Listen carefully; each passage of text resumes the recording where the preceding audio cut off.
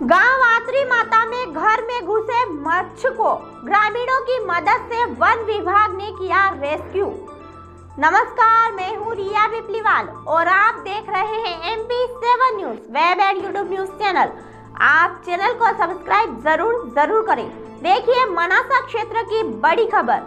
दिनांक 10 अप्रैल रविवार को सुबह उप वन मंडल अधिकारी आर आर परमार व वन परिक्षेत्र अधिकारी मोहम्मद सलीम मंसूरी को सूचना मिली कि दिनेश पिता प्रभुलाल कीर, आंतरी माता जी के मकान में मगरमच्छ घुस आया है।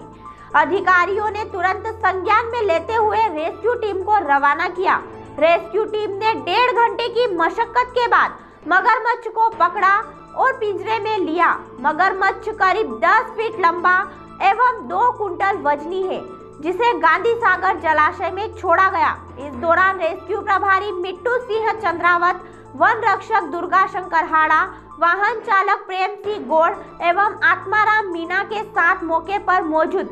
जितेंद्र सिंह राठौर, मोनू माली, मुकेश माली, सुनील राठौर ने वन विभाग टीम का रेस्क्यू के दौरान पूरा सहयोग किया। मनासा क्षेत्र की हर प्रकार की खबरों की जानकारी के लिए आप चैनल को सब्सक्राइब ज़रूर करें।